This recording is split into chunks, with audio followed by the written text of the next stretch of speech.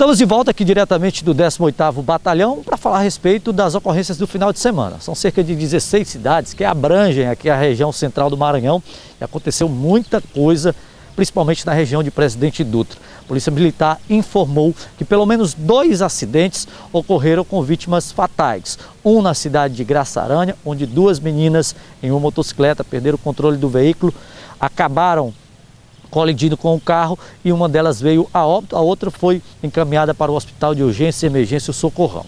Aqui na região de Presidente Dutra, na noite de ontem, um homem de aproximadamente 39 anos perdeu o controle da sua motocicleta lá no povoado em Poeiras, acertou um poste e também veio a óbito. Em São Domingos foi registrado outro acidente, mas sem maiores informações a respeito desse acidente da cidade de São Domingos do Maranhão.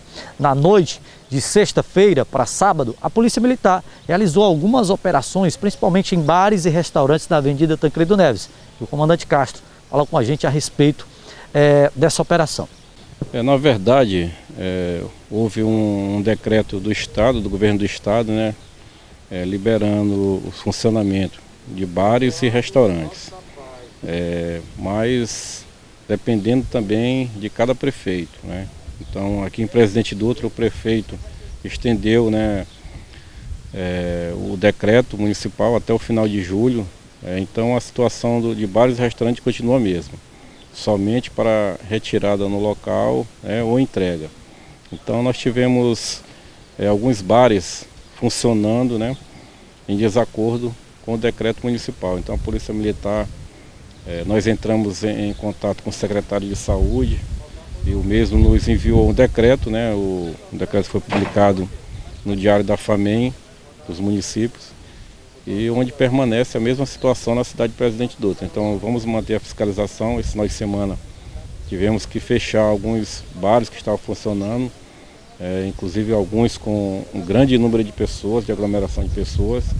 E é uma preocupação, porque os casos, inclusive aumentou o número de mortes, né, vítimas da Covid no nosso município. Então é uma preocupação da Secretaria de Saúde e da Prefeitura Municipal para manter o controle é, dessa, dessa pandemia. É, para que essas ações continuem acontecendo, é necessário que a, que a sociedade também ajude. Né? E eu vi que durante o final de semana foi divulgado até um novo número aqui do 18º, para que as pessoas possam ajudar e entrar em contato. Exatamente, nós tivemos problema no número que usávamos anteriormente, mas já existe um novo número que a população pode fazer suas denúncias e também solicitar o atendimento de ocorrência nesse novo número que foi repassado já para, para a comunidade. Então a Polícia Militar está atenta, né, fiscalizando a questão principalmente dos bares que ainda não podem funcionar recebendo cliente nos seus estabelecimentos, tá certo? Então a gente orienta a esses proprietários que continuem somente na forma né, de delivery, delivery para que o atendimento seja feito dessa maneira. Ainda sobre as ocorrências do final de semana, um motorista de carreta acabou sendo vítima de um roubo.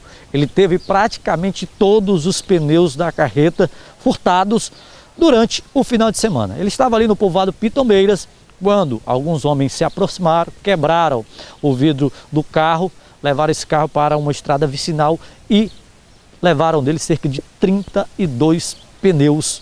Ação realizada durante o final de semana. Capitão Leandro também falou a respeito desse roubo e dos acidentes que eu citei anteriormente. Com relação às ocorrências, né, teve umas que nos deixa bem triste, né, que é quando são acidentes com, com vítima fatal, né.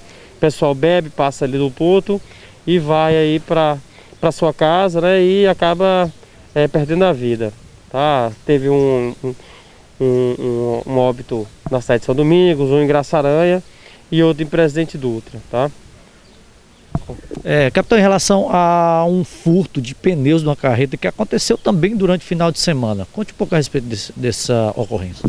É, chegou pra gente que o, o, o, motorista da, da carreta estava dormindo, né? Quando chegou alguns indivíduos, quebraram o vidro e lhe renderam, né? Pegaram, levaram para uma estrada vicinal e tiraram todos os pneus dessa do, do da carreta, 32 pneus, né?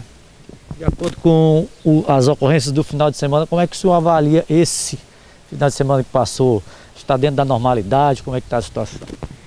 Assim, dentro da normalidade não está porque assim, quando tem óbito, é, foge, né? Teve essa situação do, do roubo, né? Teve essa situação de, de óbitos, né? Que é complicado para a gente evitar, né? Porque o indivíduo bebe, às vezes bebe em casa, né? E ele, ele sai às vezes de madrugada, então não tem como a gente evitar, evitar tudo, né? Mas a polícia lá atua né, na questão da prevenção, também teve na, de sexta para sábado, teve ali próximo, aqui presente Dutra, os indivíduos bebendo em um bar, quando a viatura da Força Tática se aproximou, eles é, ficaram bastante nervosos, jogaram um objeto para dentro do bar, a guarnição se aproximou, fez uma revista minuciosa no local, nos indivíduos, né, encontrando inclusive uma arma de fogo e, os, e foram conduzidos para a delegacia. Né? Entre eles tinha até um colombiano né, que está morando na cidade. Foi conduzido também. Beleza, essas foram as ocorrências do final de semana na região de Presidente Dutra e a gente segue com você direto dos estúdios.